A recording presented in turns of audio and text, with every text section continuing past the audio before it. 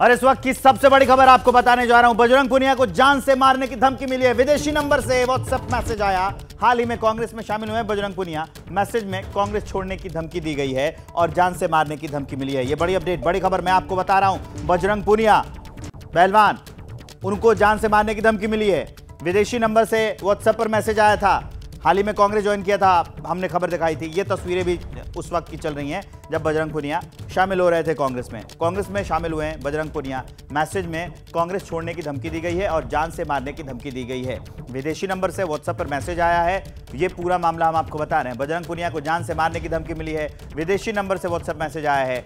इस पर पुलिस अधिकारी का क्या कहना है, वो मैं आपको सुनाता बजरंग ने थाना बालगढ़ में शिकायत दी थी तो उसको यही बार के नंबर से धमकी भरा मैसेज प्राप्त हुआ है।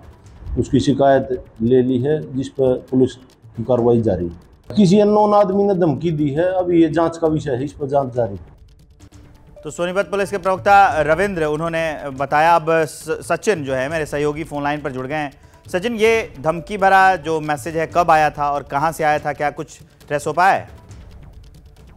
जी, देखिए, इसकी जो जो टाइम लाइन है, वो तो बजरंग पूनिया ने जो है शिकायत में दर्ज कराई होगी। पुलिस ने उसकी डिटेल जो है, वो अभी तक जो है पब्लिक नहीं की है। बट अगर ये शिकायत जो है, क्योंकि आज जो है दर्ज कराई गई है तो निश्चित तौर से ये आज या पिछले कल ही बजरंग पूनिया को ये मैसेज जो है, ये व्हाट्सएप पे मिला होगा। पर सबसे बड़ी बात ये है कि बजरंग पुनिया हाल ही में कांग्रेस में शामिल हुए हैं और जो मैसेज आया है, जो पुलिस की पुलिस को शिकायत की है तो पुलिस जो है कि कांग्रेस क्यों ज्वाइन की है आपने, वो जो है वो लिखा है उस मैसेज में जो है बजरंग पुनिया की शिकायत के अनुसार।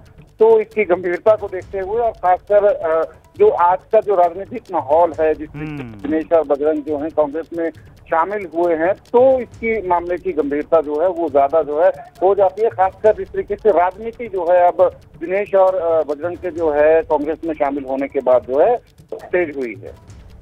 ठीक है।